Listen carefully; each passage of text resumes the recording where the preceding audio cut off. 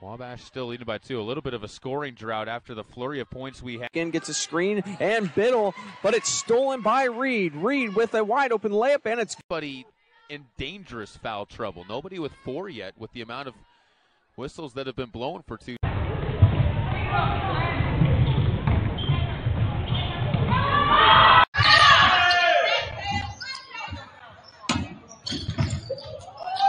Now to number 11, Brunson. Cross court to Reid. Fadeaway. jump. Lady Knights will come out in the zone now, a 2-3 zone. Up top on the dribble. Brunson goes left C8 Wabash. Here's Brunson quickly to Wahid. Around the screen up top, maybe a moving screen. Now Reid fakes, drives, in a position where she didn't just have a wide open layup. Open three ball again. Four.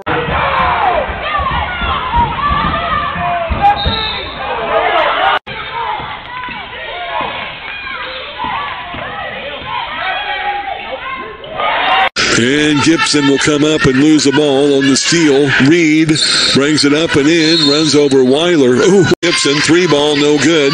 Wahid back into the lineup for Wabash, as well as Brunson. Now in the corner, Reid for three.